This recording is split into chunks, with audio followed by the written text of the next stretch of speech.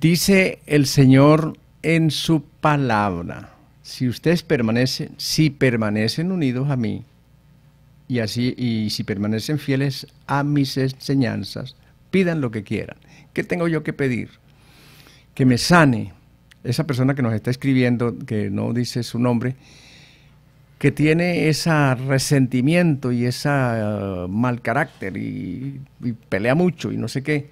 Bueno, pídale al Señor que le dé la gracia de perdonar, porque seguramente usted tiene problemas con sus papás y entonces está reflejando esa situación en, el hogar y no se está dando cuenta, está actuando inconscientemente. Entonces, ¿qué necesito yo? Ser sanado de mi resentimiento.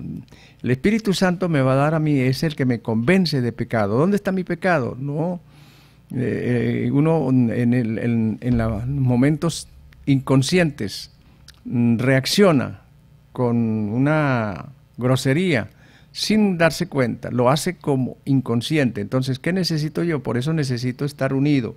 Si ustedes permanecen unidos a mí y si permanecen fieles a mis enseñanzas, pidan lo que quieran y se le hará. ¿Qué voy a pedir yo? Le voy a pedir, Señor Jesús, envía tu Santo Espíritu sobre mí, ayúdame a a dejar que yo sea dócil al Espíritu Santo, para que el Espíritu Santo actúe en mí con el dominio propio. ¿El qué? Dominio propio. ¿Qué es el dominio propio? ¿Qué es el dominio propio? Que yo tenga esa capacidad de, de, reconocer que el problema en mi casa soy yo. Eso me lo va a dar el Espíritu Santo, porque el único que me convence de pecado, de justicia y de juicio es el Espíritu Santo. Por eso necesito tener un encuentro con el Señor, decirle al Señor Jesús, Señor Jesús, te doy permiso que entres en mi vida para que ya no sea yo el que diga, Padre nuestro que estás en el cielo, santificado sea tu nombre. Que ya no sea yo el que diga, perdona nuestras ofensas, como nosotros perdonamos a los que nos ofenden, y no nos dejes caer en tentación. No nos dejes caer en qué?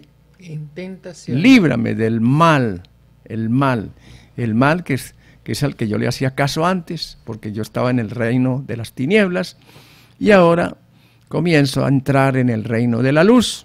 Y entonces, ¿quién es la luz? Jesucristo. ¿Quién es el que viene a iluminar toda tiniebla y sombra de muerte. ¿Quién es el que me va a hacer entender que yo no soy tan buenecito como yo creía que era?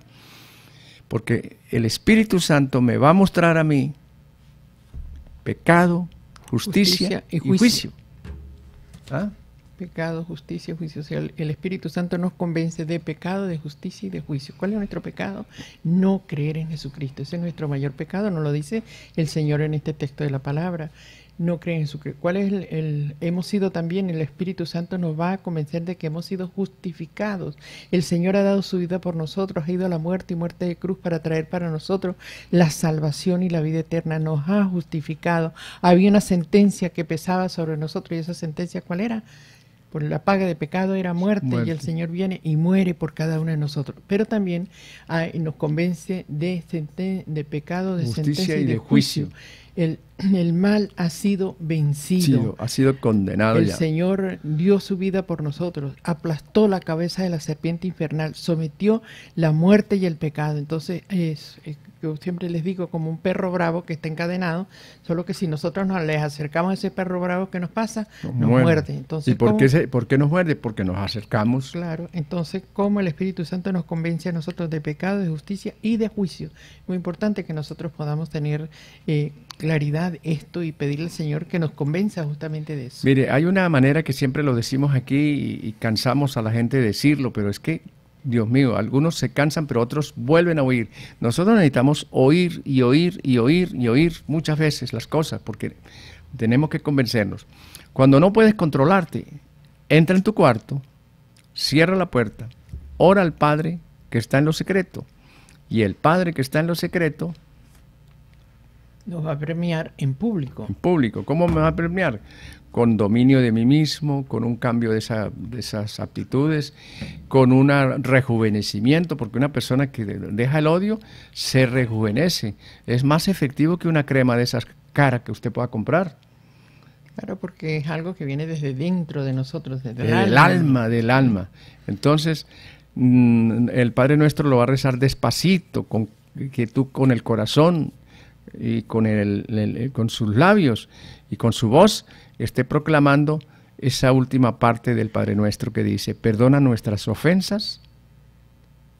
Como nosotros perdonamos a los que nos ofenden. Y no nos dejes caer en tentación, líbranos del maligno, líbranos del maligno, líbranos del mal porque necesito ser libre para poder entender esta belleza que el Señor nos da. por eso es importante que ojalá los oyentes pudieran volver a este texto que es del Evangelio de San Juan, capítulo 15, dice la vid verdadera. En el versículo 7 dice lo siguiente, si ustedes permanecen unidos a mí, y si permanecen fieles a mis enseñanzas, piden lo que quieran y se les dará.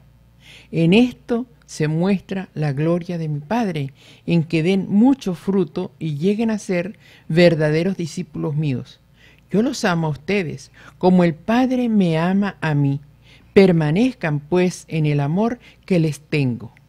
Si obedecen mis mandamientos, permanecerán en mi amor, así como yo obedezco los mandamientos de mi Padre y permanezco en su amor. Así como yo, dice, si obedecen mis mandamientos, permanecerán en mi amor, así como yo obedezco los mandamientos de mi Padre y permanezco en su amor. Ese es el versículo 7, eh, 8 del capítulo 15 de la del Evangelio de San Juan. La vid, yo soy la vid, yo soy la vid. El Señor quiere que nosotros permanezcamos unidos a Él para que nosotros podamos producir fruto y ese fruto sea un fruto que abundante y que permanezca. Que permanezca. Entonces, ¿qué necesitamos nosotros? Estar unidos al Señor. ¿Cómo vamos a estar unidos al Señor? Porque si yo estoy, unido a Jesucristo, mire, les garantizo, no pasará mm, mucho tiempo sin que haya una manifestación sobrenatural del Espíritu Santo. El Espíritu Santo, ¿qué le va a hacer? Le va a revelar la palabra de Dios, le va a revelar a Jesucristo, le va a hacer entender lo que el Señor Jesús significa. Y, le va a dar ese permiso al Señor para que actúe en ti y puedas sorprenderse grandemente cuando usted comienza a tener esa, esa manifestación sobrenatural del dominio de mí mismo. Dominio de mí mismo, que yo pueda, que yo pueda controlarme cuando siento el deseo de darle una respuesta de esas certeras a esa persona que me dijo tal cosa. Y entonces yo le doy esa respuesta para que, no hombre, este, la gente entienda que yo sí, sí me sé defender.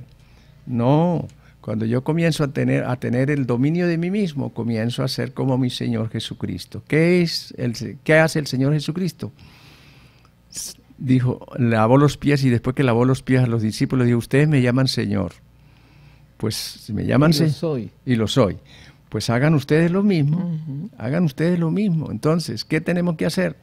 Mirar a los demás como superiores a nosotros y comenzar a vivir la vida en Jesucristo, porque Él es el camino, la, verdad y la vida. Y si obedecen a mis mandamientos, permanecerán en mi amor, así como yo obedezco los mandamientos de mi Padre y permanezco en su amor. ¿Cuál es el modelo que nosotros tenemos que seguir? A Jesucristo, no hay duda.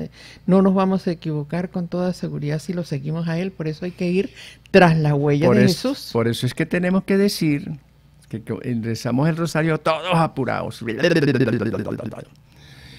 A ver, ruega por nosotros, Santa Madre de Dios. Para que seamos dignos. Despacito. De alcanzar y gozar las promesas de nuestro Señor Jesucristo. Y gracias de nuestro Señor Jesucristo. De alcanzar. Fíjese, alcanzar, esa es una meta. Y gozar, otra meta. Gozar las promesas de nuestro Señor Jesucristo. Ruega por nosotros, Santa Madre de Dios, para que seamos dignos, de, alcanzar, y gozar las, promesas, del Señor, de nuestro Señor Jesucristo. Las promesas del Señor mías son. Entonces, Isidra.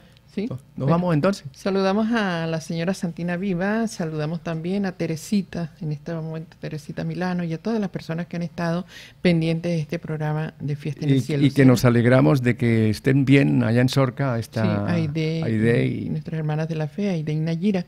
Eh, estábamos preocupados en la comunidad porque no sabíamos de allá y como no podíamos comunicarnos, pero bueno, bendito sea el Señor, que el Señor las guarde y siga bendiciéndolas mucho. Bueno, será hasta el próximo programa cuando nuevamente estaremos de vuelta con ustedes. Pidamos al Señor que Él nos bendiga. Hemos estado bajo la bendición del Dios de Israel, con la protección del Espíritu Santo, la dirección de la administradora Virgen María de Jerusalén. A esta hora los esposos Ali e Isidra Abraham en buena música. Nosotros nos vamos escuchando Radio Natividad.